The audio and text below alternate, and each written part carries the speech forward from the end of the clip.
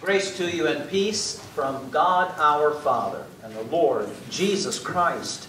Amen. Incentives. Let's talk a little bit about incentives. Everybody knows what incentive is. Incentives, uh, and we're all affected by them. Uh, even if we don't realize that we're affected by incentives, we are. That's why that you can sometimes uh, uh open up a cabinet and find 16 of the same thing when you only need one. But you got 16 because, man, there were some incentives about getting those other 15. So that's incentive. And we like them, you know, coupons are incentives. I'm a coupon clipper. I will admit it. I'm a coupon clipper. And I remember that when the kids were at home, we had all of our kids at home. Uh, uh, by the way, we're still supporting it. They just live somewhere else. But uh, when we had all, we had all of our kids at home, okay, we we of course clipped coupons for all kinds of stuff, right? Uh, and uh, so one time I said, well, you know, are we really even, are we really saving anything with this? And I once just figured it out, just sketchy. And, and in one year we saved $4,000 by just flipping coupons. Can you imagine? Instead of buying retail. You know? And of course there's BOGOs. We all love BOGOs. But that's not a clown. That's buy one, get one. Okay? BOGO the clown. No. It's buy one, get one. And, and uh, that is an incentive to people. That's, that's really an incentive to people. And the, uh, the um, people who manufacture stuff, they know that. They know that. So they'll put a can up there, uh, let's say of, of, beans, and they'll say, uh, you know, 60 cents, 60 cents for that can of beans. And um, buy one, get one free. Buy one, get one free. So 30 cents, not bad. While across the aisle, another brand of those same beans are 25 cents a can. but hey, I got one free. Um, you know, an early tee at the golf course. You know, that's an incentive. Would you like to have an early tee at the golf course? Well, we have to get all our work done Friday. You know, I get that early. I get there for that early tee. Or book a cruise. If you book this cruise today, you get two extra days free. Two extra days free. So, all kinds of things, incentives, and incentives cause people to do all kinds of amazing things. Sometimes for good, and sometimes for bad. For instance, let's take cheating. Cheating is actually an, incentive. Examples of that would be, uh, which is a popular one. Some author once said it's really the primordial economic act. Cheating is the primordial economic act. It's getting more for less. However way you can do that, right? And people risk a lot. They risk a lot sometimes in order to feel as though they're getting more uh, for less. And they may cheat to do it. Take the example of the sudden disappearance of 7 million children in the United States of America on April 15th in uh, 18, uh, 1987.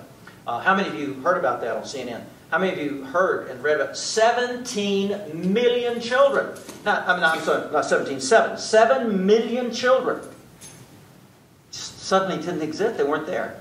It wasn't alien abduction either. They just weren't there anymore. What happened? Well, on April 15th of 1987, up until that time, up until that time, when you declared dependent children on your taxes, you only had to put their name. From 1987 on, you had to put their social security number. Suddenly, on one tax day, 7 million dependent children just disappeared.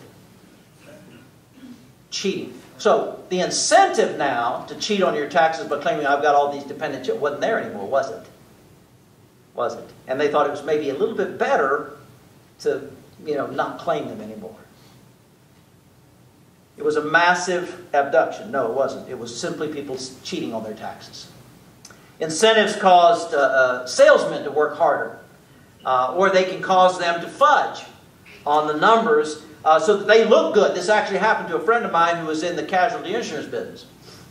Okay? He looked great won all kinds of prizes, incentives, got all kinds of bonuses for writing all kinds of, of insurance policies, right? Until one day a man walked in uh, and wanted to make a claim on a policy that he had written with this guy, and no such policy existed. No such policy existed. So he looked awfully good on paper, but in fact, his incentives of doing that were wrong. Incentives can make top athletes do things that they shouldn't do. Uh, they, uh, in order to fatten their wallets, for instance, an illegal performance enhancing drugs uh, to win championships. Uh, incentives can determine how a, real estate agent may list your property uh, for their advantage, maybe not necessarily for your advantage. So these are incentives. Bottom line is incentives are the glue that really runs the whole world's economy. And we want to, the best for ourselves, obviously. We, we want the best without necessarily having to pay the most. And, and you do have to shop for bargains, and there's nothing wrong with that. Uh, we don't want to pay too much for something, and nothing makes you feel any worse than having bought something that you really needed and you really shopped around for, and the day you bought it, uh, two days later, the same thing is on for 10, 10% less. This kinds of thing happen all the time. However, we're going to look today into 2 Corinthians chapter 9. 2 Corinthians chapter 9. And if you have your Bibles, you can open them up there to 2 Corinthians chapter 9. And we're going to be encouraged to ponder on something very important, some questions. And they're related to a divine and sanctified incentive for giving to the work of the kingdom of God. These are sanctified. These are the divine incentives that the Lord has put upon us that we might be His people in the given place in the vineyard where He's placed us. In order that we do for the kingdom according and proportionally to what He has given us in blessing and grace. So, the first question we want to ask is what is our number one incentive, our ideal example of Christian giving? What would that be? So, we can understand in the material world what uh, qualifies as incentives for things we want. But what about the kingdom of God? What kind of incentives are we going to look at there? Let's look at 2 Corinthians chapter 9. We're going to read from verse 6. 2 Corinthians chapter 9, we'll read from verse 6. And so Paul is writing there, he says the point is this. Whoever sows sparingly will reap sparingly, and whoever sows bountifully will reap bountifully. Each one must give as he has decided in his heart, not reluctantly under compulsion, for God loves a cheerful giver. Now, uh, sometimes we just read over that and we think that is kind of like a, it's kind of like a euphemism. You know, everybody loves a cheerful giver. You know. Uh, but when it says God loves a cheerful giver, it has some little bit of punch to it. We'll, we'll talk about that in a minute. It says in verse 8, And God is able to make all grace abound to you, so that having all sufficiency in all things at all times. Now, any time that in, in writing, uh, in Hebrew or in this uh, Koine Greek in the scriptures, you say something three times is very important. So he says, all, all, all. You're all sufficient, all things at all times. You may abound. Why? In every good work. So why did God bless you? Well, He blessed you the same reason He blessed Abraham. Said, I'm blessing you to be a blessing to the nations. Everyone who blesses you will be blessed. And so he says to his church and he says to us that he's blessed us to be a blessing. He's blessed us to be a blessing. So if we have extra toys we're not using, we're to share them. Right?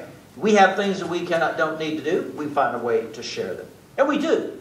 That's what we do in our society. I think the United States of America is, in, in a sense, and it has been for, for a long time, uh, a country uh, that is remarkable for its giving. Okay, and that's part of the Christian principles on which it was founded.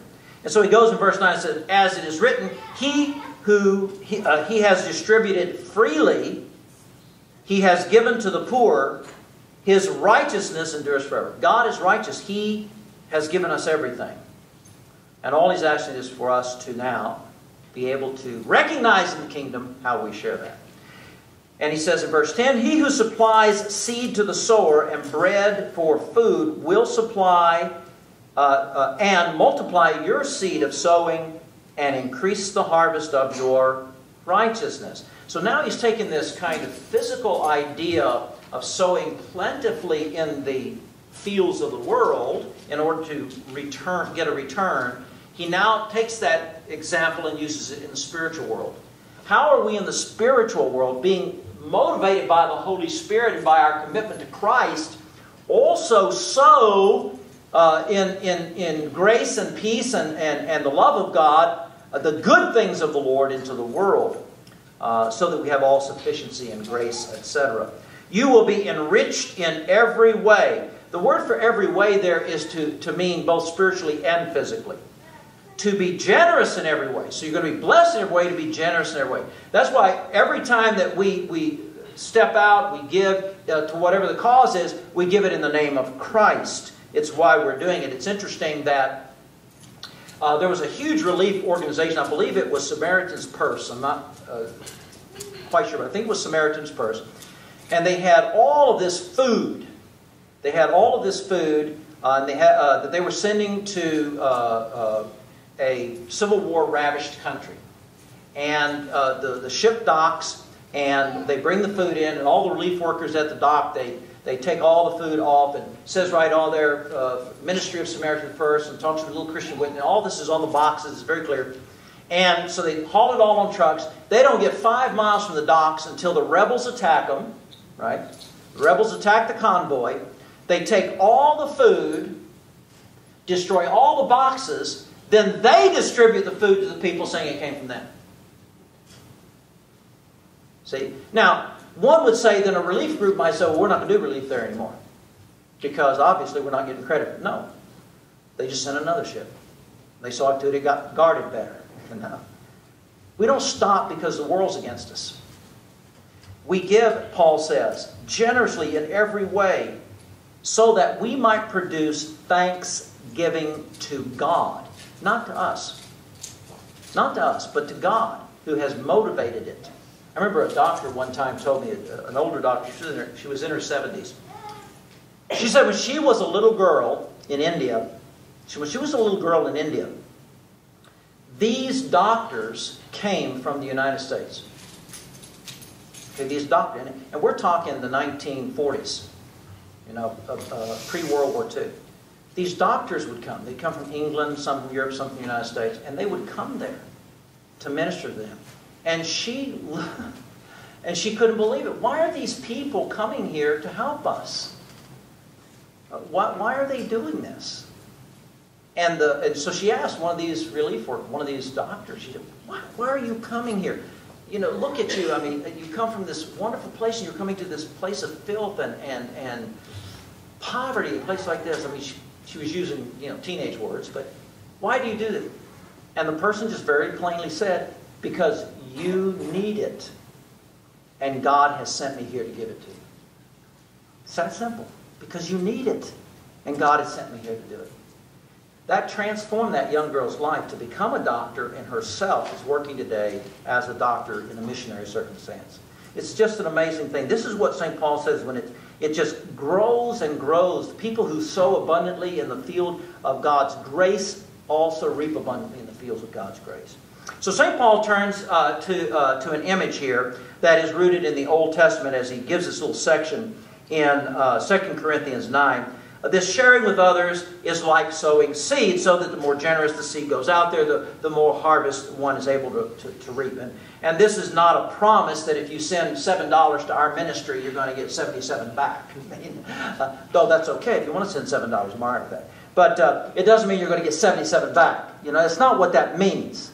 What it means is God, as it says in James, our epistle text today, when you've asked for the right reason and for the right purpose, then God blesses. So that God's glory may be raised up and God may receive the thanksgiving on the lips of those who have received from His goodness. So God is able to make all grace abound to you, he said in the text, so that in all things, at all times, in all places, you have total sufficiency in every good work. You've got everything you need to do the good work that God has sent you to do. God will never send you for a work that He will not provision you in that work. And when His provision stops in that work, and you've been honest about it, then that means that work is finished. And you move on to the next work.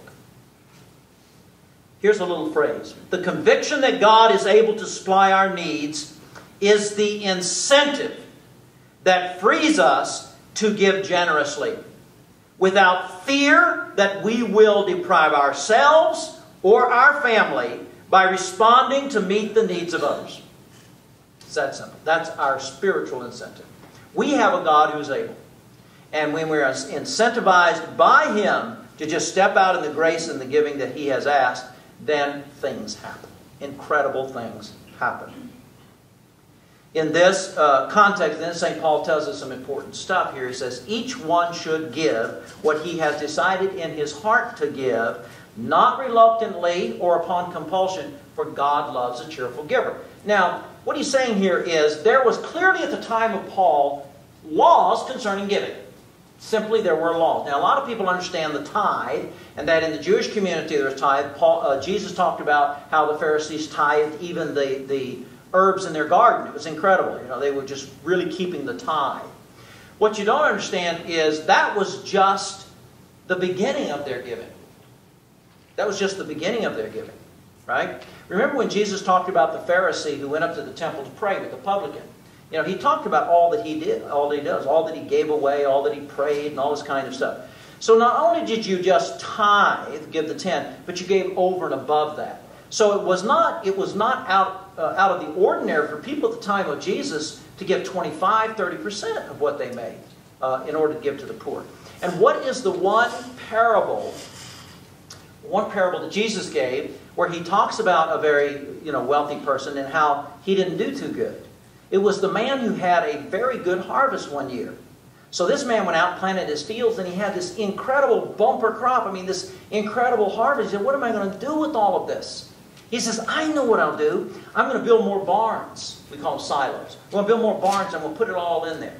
Put it all in these barns. And then I'm going to have, then I'm going to relax. I'm going to retire. And I was, and he says, what does Jesus say in the parable? God says, this night will your soul be required of you. Then who's going to get all of this? Who's going to get all of this? This man lived in a community. He lived in a community where he was to share his wealth with his workers. He didn't sow that field by himself. He didn't reap that harvest by himself. That community did that. The people who worked for him, the extra people he had to hire. The whole community was supposed to prosper, not just him. God has prospered you that the whole community of faith may prosper. And that community of faith can be anywhere in the world, but that it would all prosper. Again, he is, he is careful not to place any, on any believers, Paul is careful not to place this obligation. Why? Why is he not going to place an obligation? No, you have to give this much. So, well, I remember one, uh, one evangelist once told me, he said, Well, how many people are you going to get into your church? If you have a sign out there, and I'll use the name of, of this church, uh, if you have the a sign out there that said, Peace, Prince of Peace Church, right? Prince of Peace Church. You know, all you need to be a member of this church is give us 10% of everything you have. Uh, they'll be beating down the doors coming in here with me. See, that's his point. He never wants to set that on them.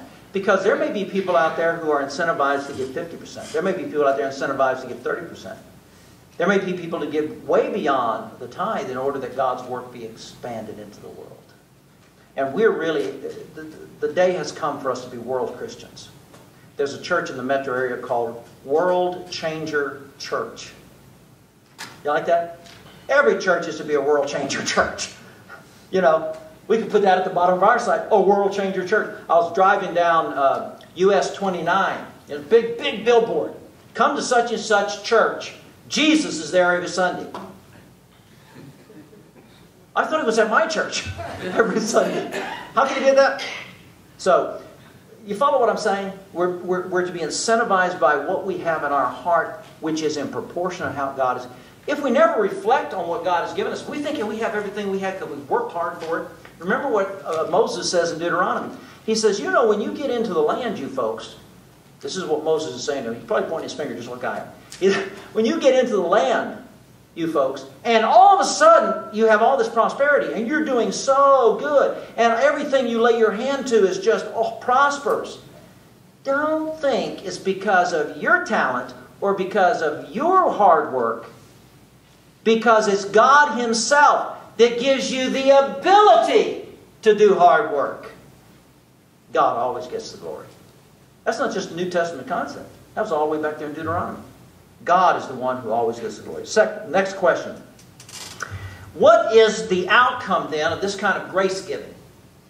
What is the outcome of that? We'll, we'll go on in uh, uh, 2 Corinthians 9, beginning at verse 12. For the ministry of this service, now notice what he, the word ministry there is stewardship or management. uh, uh, uh, I'm sorry, is meant, the word ministry there, the word service is stewardship or management, uh, is not only supplying the needs of the saints, that is, it doesn't just supply the needs of the congregation, of the, of the congregation of the saints, those that are believers, but it also overflows into many thanksgivings to God. By their, uh, by their approval of this service, they will glorify God because of your submission uh, uh, flowing from your confession of the gospel of Christ. He says, What you've done is you have accepted Jesus, you have confessed the faith. We will stand up in a moment and confess the creed. We will say, This is what we believe. This is how we believe this is what who God is, who Jesus is, what the Holy Spirit has done, and we're going to confess that. Right? And he said, That is your confession of the gospel of Christ. And he says, There's something that overflows from that. Overflows from that. It's the generosity of your contribution for them and for others. That is, for those in the faith and for others. So is the church just supposed to be concerned about the people in our community that are Christian? No, we're concerned about everyone in our community. Because we want everyone to come to know and uh, the truth of Christ to be saved. And while they long for you and pray for you, now he's talking about those that, that uh, need what they're going to give in Jerusalem, not only for you and pray for you because of the surpassing grace of God upon you. Thanks be to God for his inexpressible gift. And the word gift there is associated to the word grace. For God's inexpressible grace. When I say inexpressible, is nobody, none of us here really can define in a, so to speak, terminal way what God's grace is. How can we ever plumb the depths of it or know how deeply God loves us? Now, we can always point to the cross and say He loved us enough to give His only Son. And we can understand that, you know, this person went to death and bled for us, and we understand those things. But how do we, can we really plumb the depths of God's love for us? And what Paul says is when you participate in this way, you're acting like God in people's lives. It's funny, isn't it? When you can supply something to someone that actually gives them life, actually gives them life.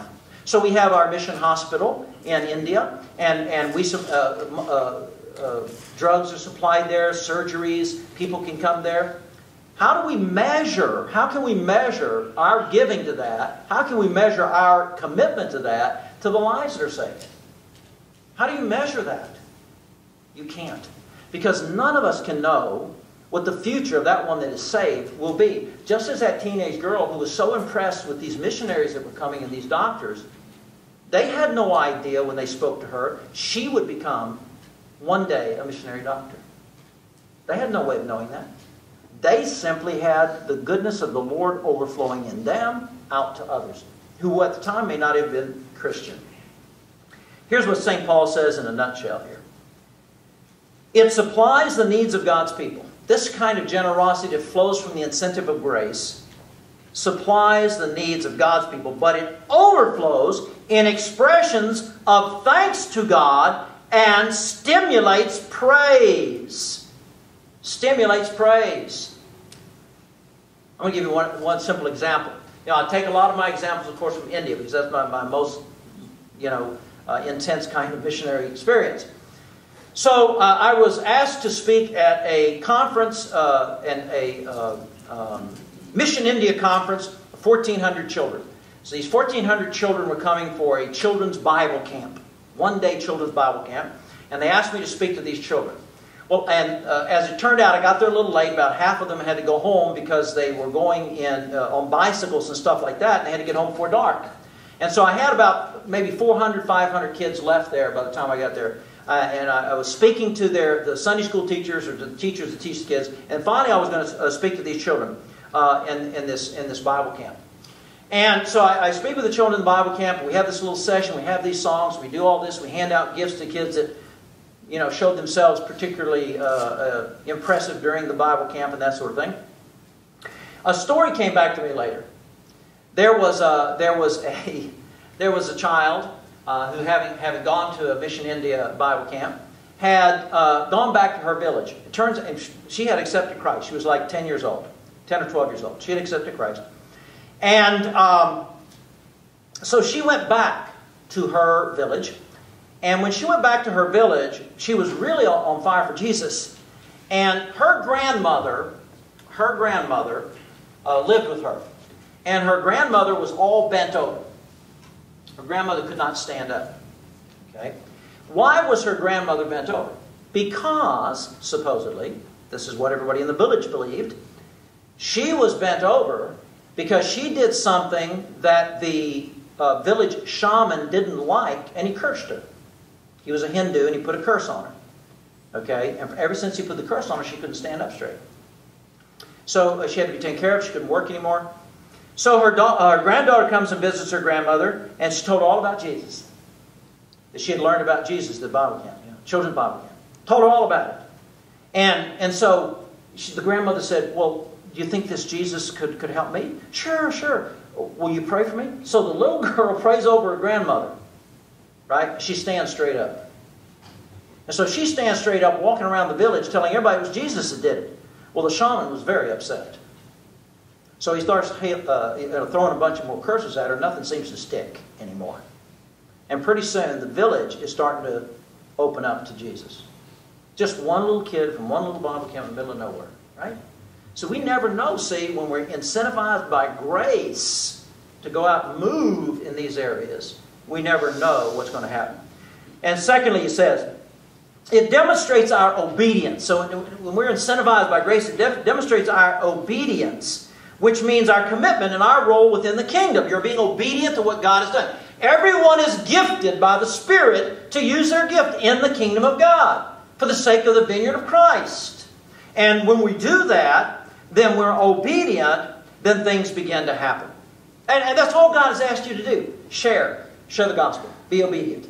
Things happen. You will never know till you're in heaven what the ripple effect of one little gospel stone you dropped in the sea of humanity, you will never know how far that ripple went and what it did until you see the Lord. And that's why we do it. We're simply obeying it. He said, Go. He said, Tell. He said, Baptize. We're just going to go do that. We're going to go do that. You know, missionaries are always asked, How many people did you baptize? Well, we baptized 16 people. And said, Well, have you followed up on? Well, they, are they're pretty remote. We, we've sent people to maybe look at them and we gave them Bibles. So we're just trusting God to do something with that. How many people do you think that John the Baptist actually sent his disciples to look after after they were baptized in the Jordan?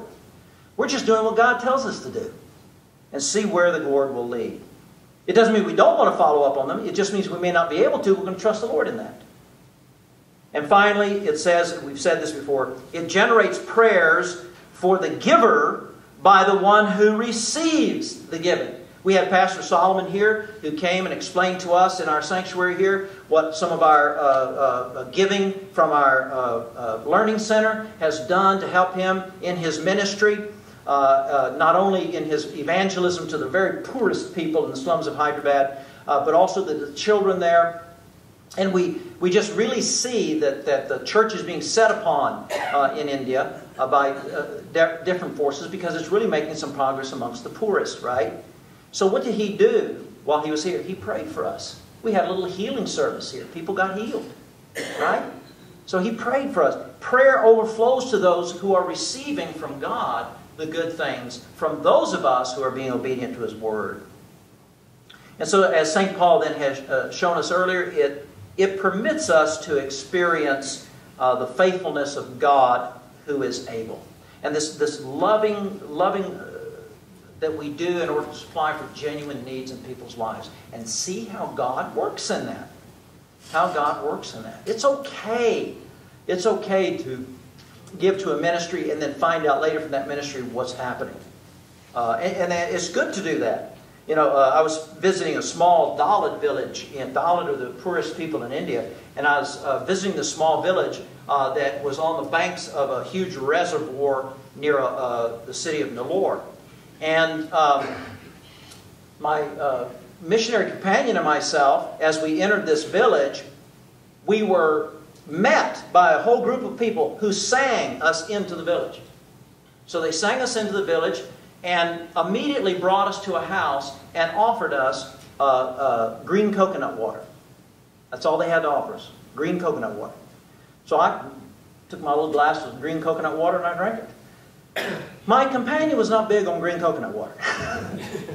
so he took a sip and then I drank his. You know? But uh, that's all they had to offer. And then uh, showed us around things that they were doing, uh, uh, you know, the kind of stuff that they were into in this little village. Most of the people in that village make less than 75 cents a day. And so, um, the equivalent of 75 cents a day.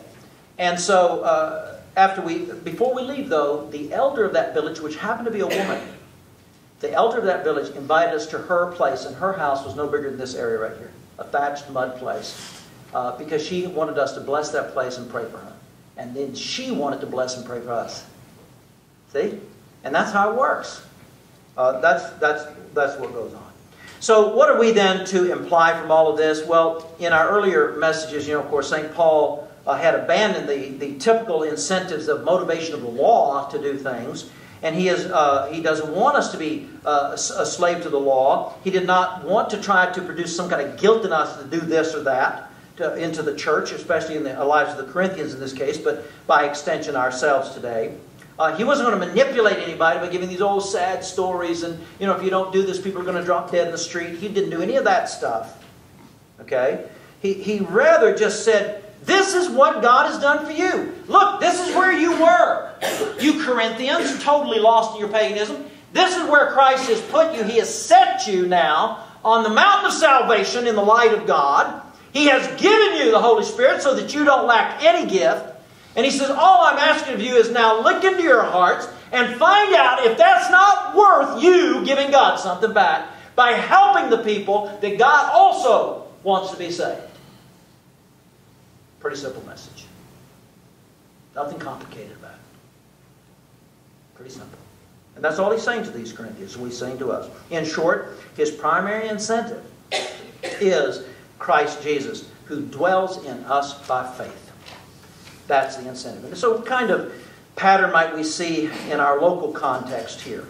As we look at 2 Corinthians chapter 8 and 9 in our local context, what that might that look like? How, how would uh, uh, our approaches to the needs um, and our generosity in ch- making changes in our local environment uh, be uh, an incentive that uh, uh, we are hoping in Christ for, for His glory? Christ in us, the hope of glory. That's who we are working for. Here are a few things you have in your outline there at the bottom of your outline. It would seem that these incentives uh, would show these four kinds of elements. Number one, we would present needs. In other words, we as a, as a whole Christian church have needs presented to us. And those, when those needs are presented to us, do we not respond to those needs? We do respond to those needs. And that's to the glory of God, that we should respond to those. Real human needs get met. Practical things. Therefore, when someone stands up and says the PRC needs this, what do we do? We say, well, go to some other church. We ain't got time for that. No. We respond. We respond. If someone comes to us and, and they say, look, we need some clothing for homeless vets. You know, it's going to be wintertime pretty soon, and we've got a whole bunch of homeless vets out there without coats. What are we going to do about it? We respond. It's okay to bring needs. It's okay. And so the impoverished children in the Hyderabad slums is made known to us, and our learning center decides we're going to take our chapel offerings and give it to those kids. And even our very own widows in this congregation who need people out at their house, we go out to their house. Because we're going to give and support just as God has blessed us. Number two, we would uh, encourage each other to evaluate his or her own needs in view of the resources and against the needs of brothers and sisters elsewhere. So there are people beyond us beyond us, just as the millions of, of refugees uh, from war-torn Syria and Iraq. So, we, uh, and many of them Christian. Not all of them, but many of them Christian. Those that have survived the Christian Holocaust going on there. Okay?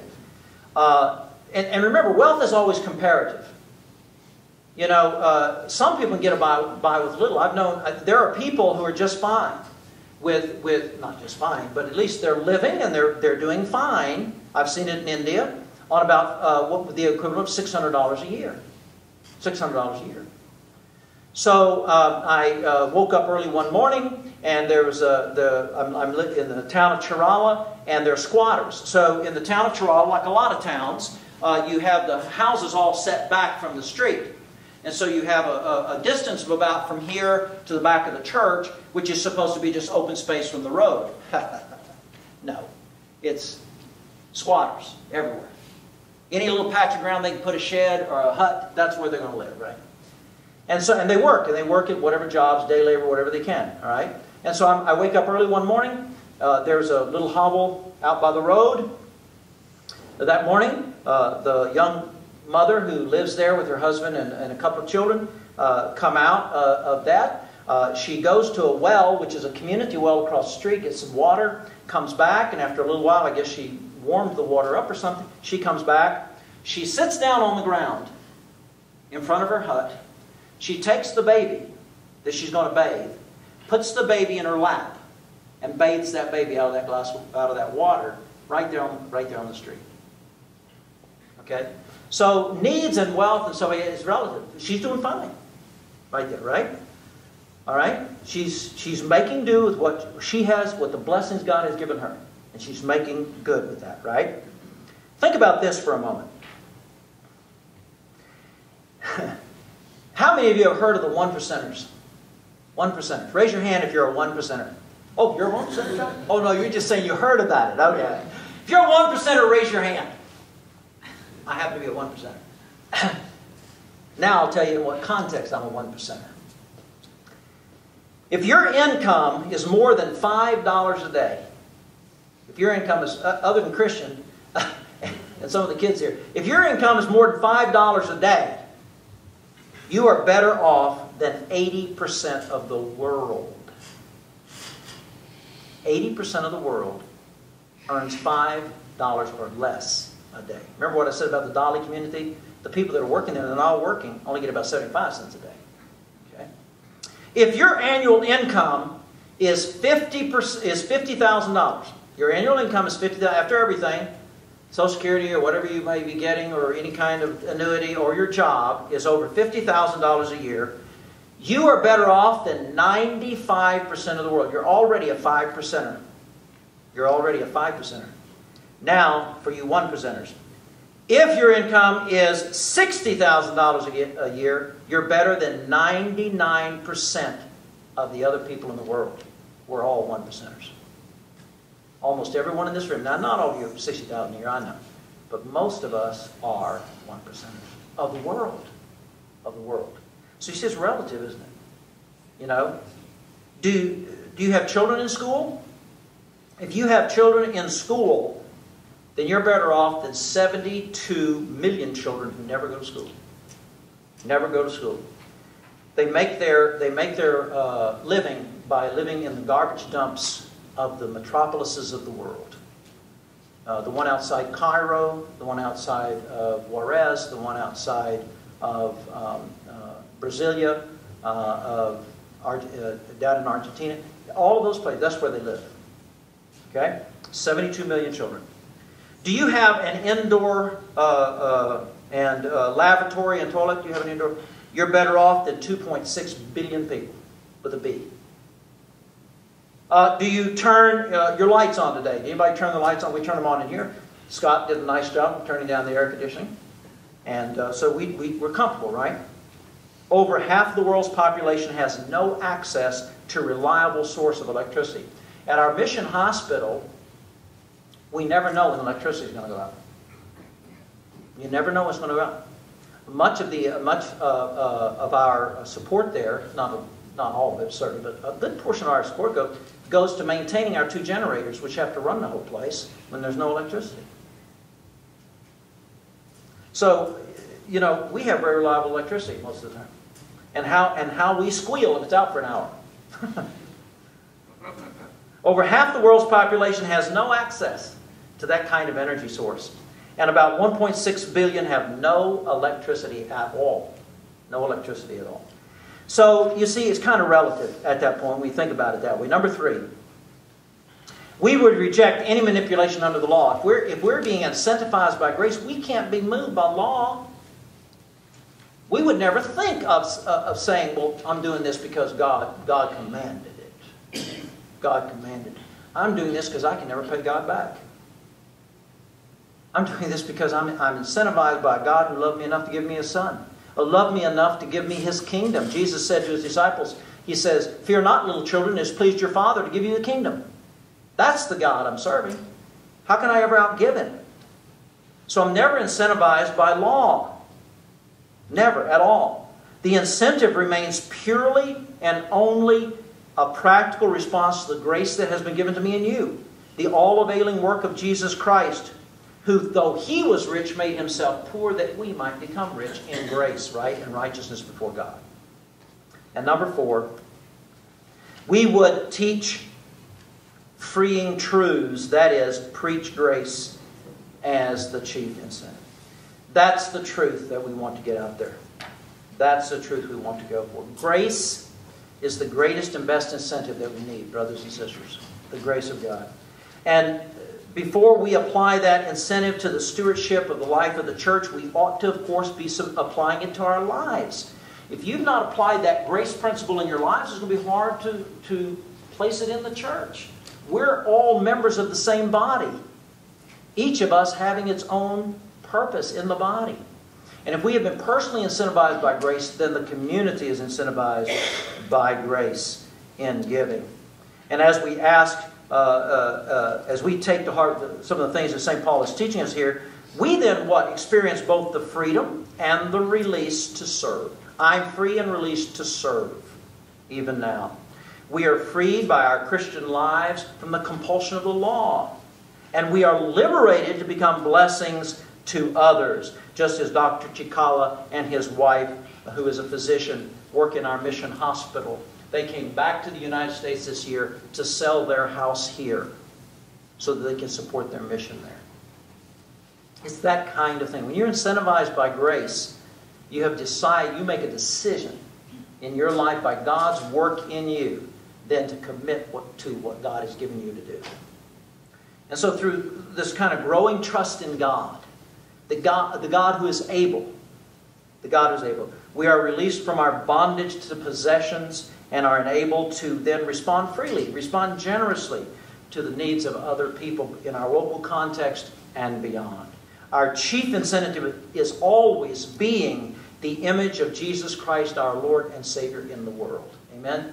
Amen. Amen. Let that peace of God, therefore, that passes our human understanding, keep our hearts and minds in Christ Jesus to life everlasting. Amen.